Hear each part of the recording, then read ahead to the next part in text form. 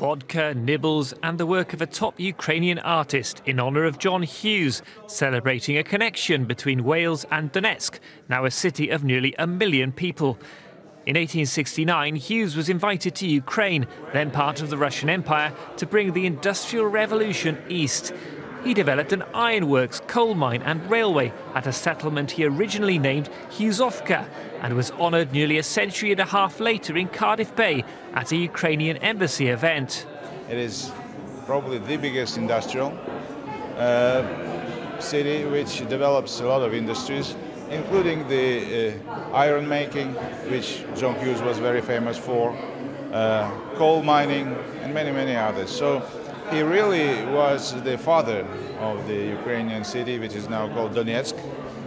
The First Minister, Carwyn Jones, was also honoured with a portrait by the creator of the art on show, Tatiana Ponomarenko Lavrash. Mr Jones believes John Hughes' story is still relevant. Well, I think the message is that uh, we've always been outward looking as a people. Even when, of course, people were working in the mines and uh, working in the steelworks in their hundreds of thousands, we still had Cardiff Docks where we are now, Barry Docks where coal was exported around the world. Uh, and what we have with John James Hughes is an example of somebody who took Welsh expertise, uh, took it to uh, Ukraine, and of course it thrived there. The Labour AM Mick Antoniw's father fled the Ukraine for Britain after the Second World War. He believes Wales could benefit from stronger economic ties with a Ukraine that could move closer to the European Union by signing an association agreement as a step towards EU membership. That travel will be a lot easier, trade will be a lot easier and less restrictive.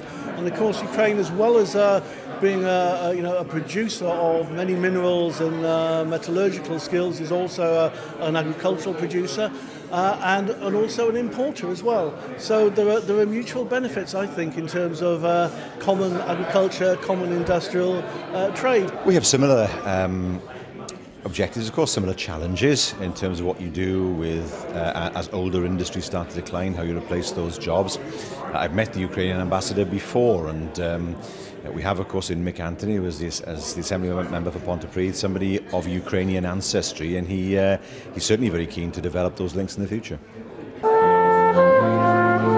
Rhondda-based Cory Band will tour the Ukraine, including Donetsk, next year, a further effort to build culturally on the legacy of Merthyr businessman and engineer John Hughes.